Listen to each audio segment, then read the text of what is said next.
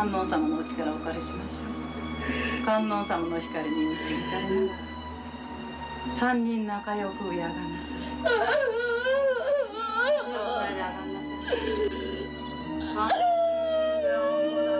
彼女らは自殺した直後成仏できずにさまよい。全く偶然に同じ境遇で苦しむ恵子さん親子を見つけた。そして自分たちの恨みを恵子さんに日々訴え恵子さん親子をも道連れにしようとしていたと下氏は言った。だが今全ての恨みを捨て彼女らは成仏しようとしていた。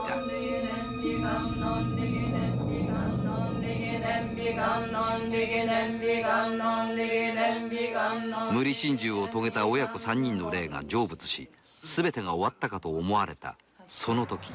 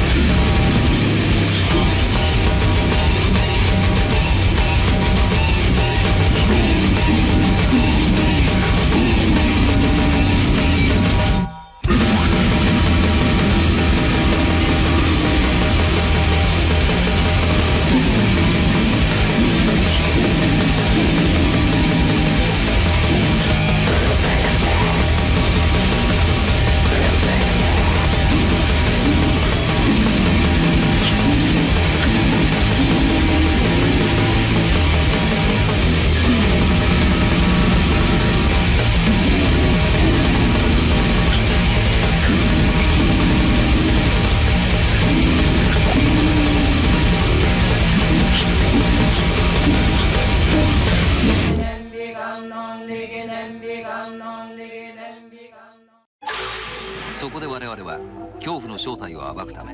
催眠療法士水上咲子先生の協力のもと対抗催眠を施すことに果たして彼女が見た黒い影の正体とは？4つ数えるとあなたの28歳の時の出来事。あなたの印象に一番深く残ったの出来事に戻っていきます。4